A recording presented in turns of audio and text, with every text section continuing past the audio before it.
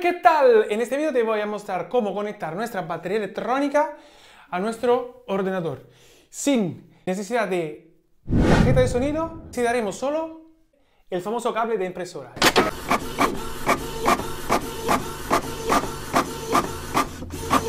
Con salida USB, esto lo vamos a conectar a la batería electrónica y esto al ordenador. Vamos a ver cómo. El cable va conectado a la salida USB, aquí. La salida USB de nuestro cable, aquí. Y ya está, ya tienes conectada tu batería electrónica al ordenador. Ok, ya tenemos conectada nuestra batería electrónica al ordenador.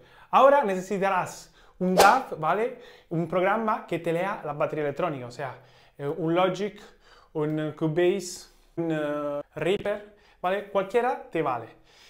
Luego te metes dentro.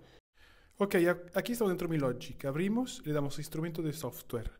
Vamos a crear y te abre y piano. Cambiamos y vamos a Drum Kit Designer. Le damos y podemos ya ver el kit de batería. Podemos elegir platos, bombos, el tono y tal. Y también diferentes kits, ¿vale? Que nos da preimpostados Logic. Le damos al rec de la pista y al rec oficial. Y ya está grabando nuestra fantástica pista de batería MIDI. Para llegar a esto he perdido muchos años de mi vida.